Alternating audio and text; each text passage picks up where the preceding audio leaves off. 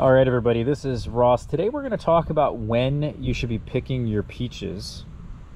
We're also going to kind of touch on a little bit about my harvest here, some of the issues that we're running into, and we're probably going to also touch a little bit on the trees themselves.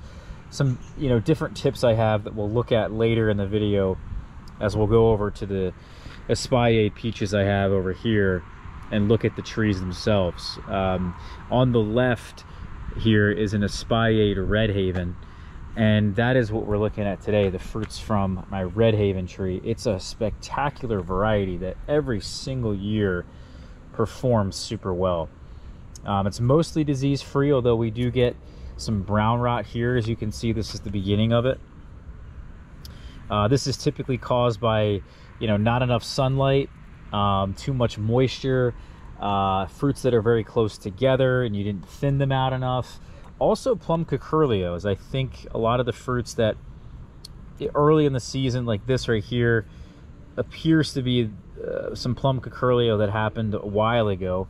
Same thing with this bite mark there. A lot of the peaches tend to outgrow the bite and it doesn't necessarily become an issue.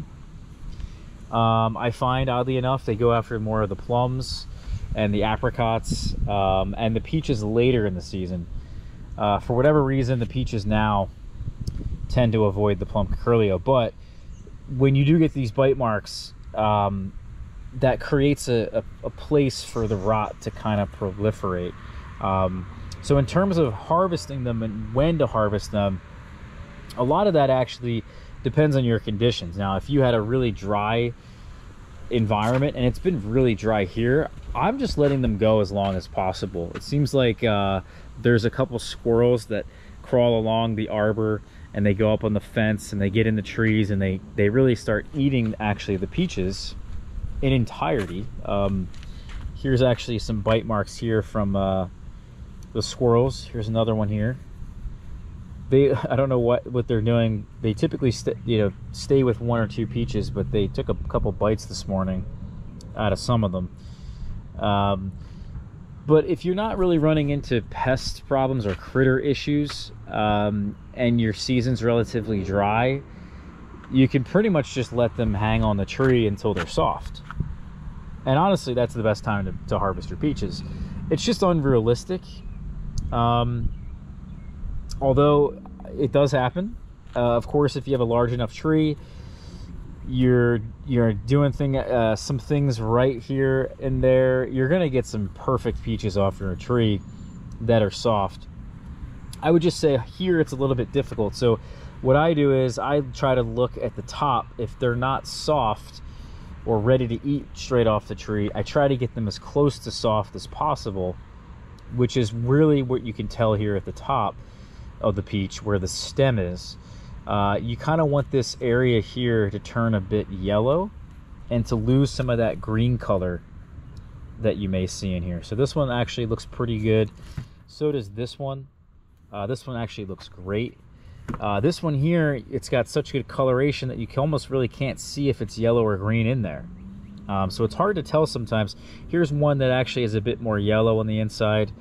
Uh, another way you can tell is if the peaches just come right off the tree uh, in a very easy way that you kind of tug on them or slightly turn them, lift them, however your, your method is there of harvesting. Um, but for the most part, these are really, really tasty, even though they have not been, you know, perfectly ripened on the tree. Um, I will take one here with me. We do actually have, I want to show you this before we go look at the trees in here is a split pit. Um, I don't exactly know why this happens all the time. I heard it has something to do with when you thin. But inside there, you can kind of see. Maybe I can even open this up. Yeah. You can see the pit just it's very strange. And then there's a, um, uh, wait, man, what are the names of those bugs? I forget the name of them.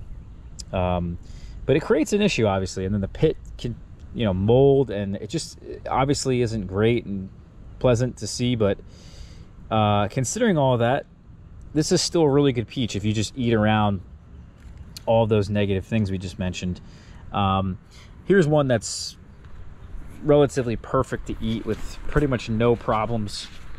Um, so we'll we'll bite into this for you guys at some point here in the video.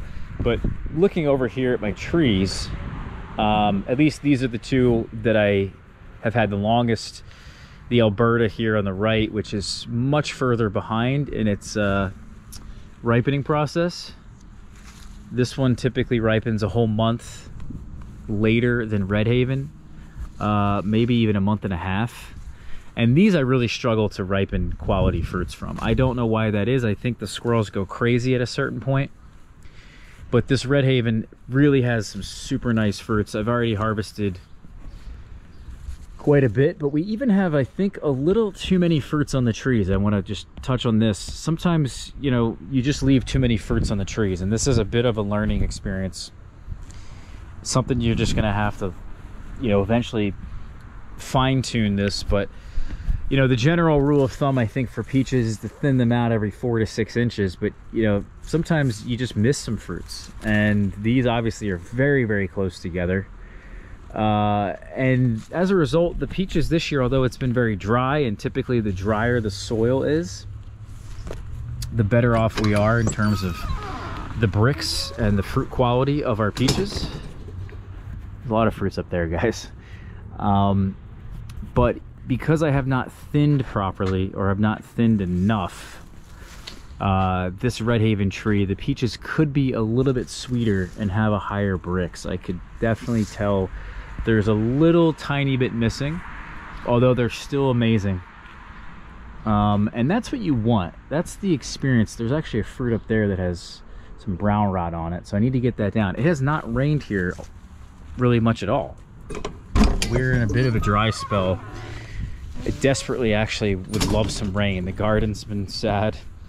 Even some of the perennials I have in the ground, um, the blueberries and the honeyberries specifically, are struggling. Um, but you know, it just goes to show you that even with no rain, we can still get brown rot in this climate, and that's just not good. Uh, we just really struggle with that disease, and I think a lot of it has to do with that plum curculio or something happening to the peach where um, it just creates an issue down the road that happens early in the season to the peach. Uh, but in general, uh, the trees this year have been fantastic. We opened up the center of them, although this is a three-tiered system here. Um, in terms of the arms that we have. But if I show you over here, you can probably make out the still the middle of the tree at the top layer has been we cut out a lot of that. And as a result the trees um, got a lot of light that they needed and the fruits look fantastic. They've been relatively disease free but again that's mostly because of the lack of rain. But um yeah what an incredible harvest this year uh, of peaches. So anyway let me just bite into this fruit and you can kind of get an idea if you've never had a homegrown peach straight off the tree that's virtually perfect. Hopefully I can describe what that is like for you guys. And the problem is actually when eating this is that it's so juicy that you have to eat it away from yourself. Otherwise you get juice on yourself. Um, you'll make a mess. So let me take a bite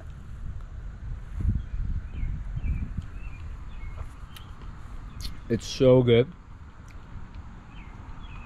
Extremely sweet.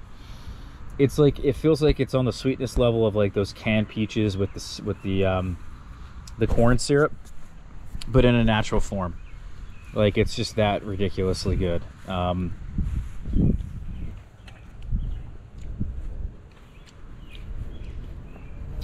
classic peach flavor from this Red Haven peach. It's just um, a standard.